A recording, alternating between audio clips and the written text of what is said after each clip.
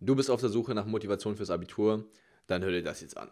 Weil ganz ehrlich, ganz ehrlich, hast du dir einfach schon mal die Frage gestellt, wer du im Leben sein möchtest? Wirklich einfach, wer du sein möchtest. Ja, es geht nicht immer im Leben nur darum, was du, was du erreichst, was du tust, sondern wirklich, wer möchtest du sein?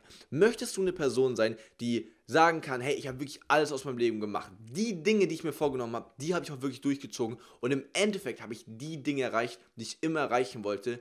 Oder willst du eine Person sein, die sagen muss, ja, das Leben ist eigentlich nur an mir vorbeigezogen. Ich habe mir zwar ab und zu mal so ein paar Dinge überlegt dass ich das ja machen könnte, aber so wirklich in voller Konsequenz habe ich es nie gemacht. Und schlussendlich muss ich sagen, eigentlich bin ich nicht zufrieden mit meinem Leben. Und genau diese Entscheidung musst du treffen. Weil ganz ehrlich, wenn du kurz vor dem Abitur stehst, dann ist das die allererste richtig große Sache, wo sich entscheiden wird, welche von diesen beiden Personen du sein wirst. Denn ich sag dir eins, so wie du dein Abitur angehst, genauso wirst du auch dein weiteres Leben angehen. So wie du eine Sache machst, machst du alle Sachen im Leben.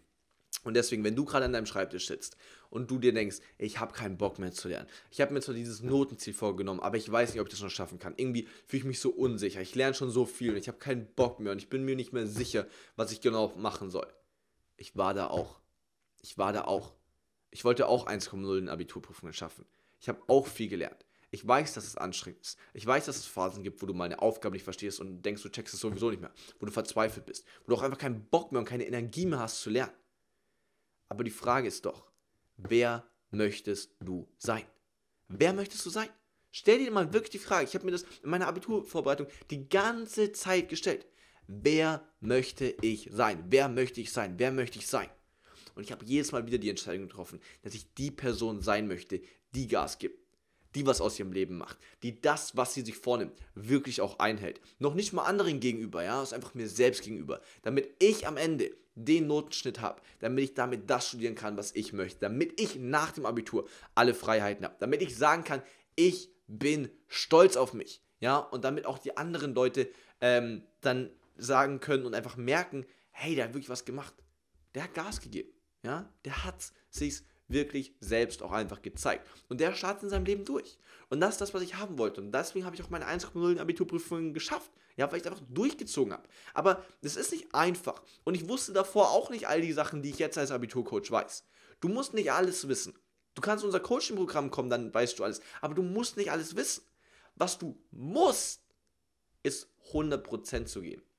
Niemand, der ins Abitur geht, ist ähm, schon Profi darin. Du machst es zum ersten Mal. Und es ist vollkommen normal, dass sich dein Lernplan mal verschiebt. Es ist vollkommen normal, dass du Schwächephasen hast. Es ist vollkommen normal, dass du aufgeregt bist. Du darfst dich nur von all diesen Dingen nicht aufhalten lassen. Das ist das Entscheidende. Meinst du, ich hatte das Gefühl, ich bin perfekt vorbereitet für meine Abiturprüfungen? Überhaupt nicht. Habe ich trotzdem 1-0 geschrieben? Ja. Warum? Weil ich an mich geglaubt habe weil ich wusste, wer ich sein möchte und weil ich wusste, dass es es wert ist, weil ich es wusste, dass ich ein großes Ziel habe und weil ich wusste, dass dieses Ziel mir alle Türen im Leben öffnen wird. Und deswegen, deswegen habe ich es gemacht und deswegen habe ich auch mein Ziel erreicht. Die Frage ist einfach nur, bist du selbst bereit dafür?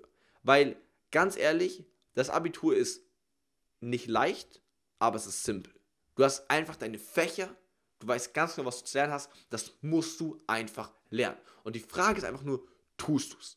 Tust du es oder tust du es nicht? Wenn du es tust, wirst du genau die Person sein, die du immer sein möchtest. Und wenn du es nicht tust, wirst du dein Leben einfach an dir vorbeiziehen lassen. Das ist so. Und da kannst du ähm, dir, dir Videos anschauen, da kannst du mit anderen drüber reden. Am Ende des Tages musst du es selbst für dich wissen.